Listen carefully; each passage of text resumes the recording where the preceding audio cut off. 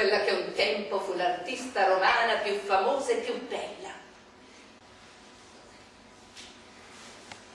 La mia vita è stato un dramma, un vero dramma, perché sono nata nell'epoca sbagliata.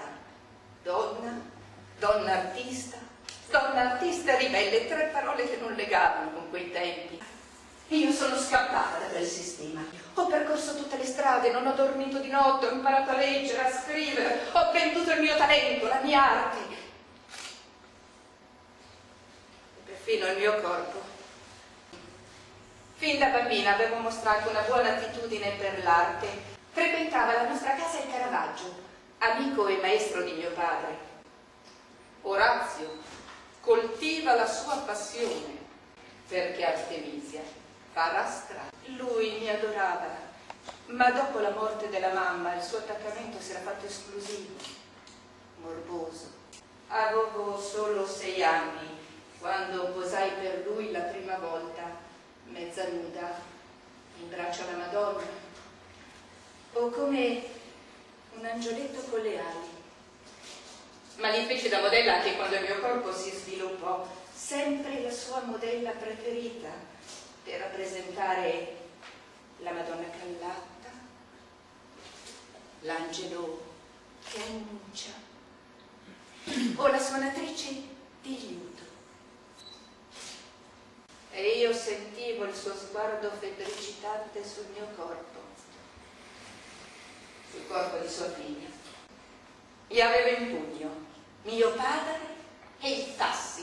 A 17 anni dipinsi la prima opera che fece apprezzare le mie precoci doti artistiche, Susanna e i vecchioni.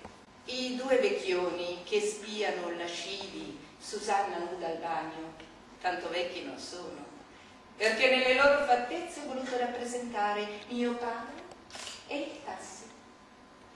La casta Susanna sono io.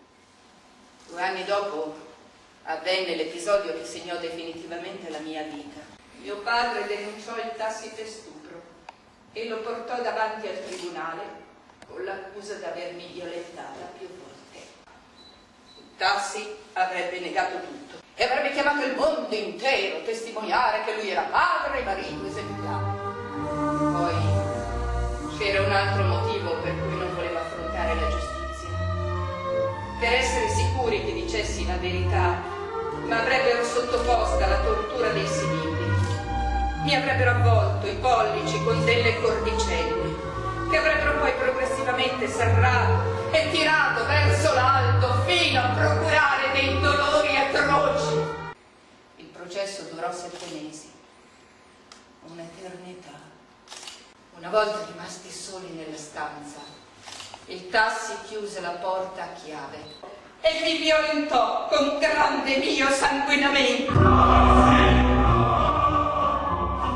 terminata la violenza, afferrai un coltello e lo ferì. Alla fine il Tassi fu condannato per avermi deflorata e per aver corrotto dei testimoni. Ma ero uscita distrutta, donna stuprata due volte. Probabilmente avevo avuto un parziale giustizia soltanto affrontando un processo infamante e facendomi sottoporre io, la vittima, a una dolorosa tortura mentale e fisica. Sfidai la morbosità caricando i miei quadri di violenza e di sensualità. Avete presente il quadro con Giuditta che decapita Oloferne? E chi guardava quel quadro vedeva in Oloferne il Tassi, mentre Giuditta trionfante ero io. 59 anni e sto aspettando la morte. Un'immagine in particolare mi perseguita da sempre. Il tassi ammanettato che mi urla puttana.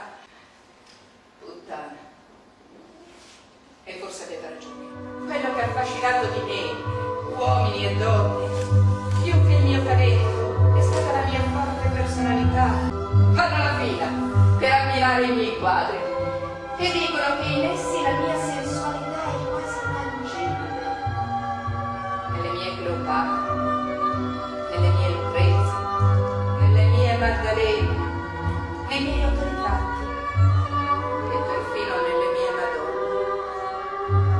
Le donne da me create sono donne vere, hanno passioni, sentimenti, come le donne di questo mio tempo, schiacciate da un mondo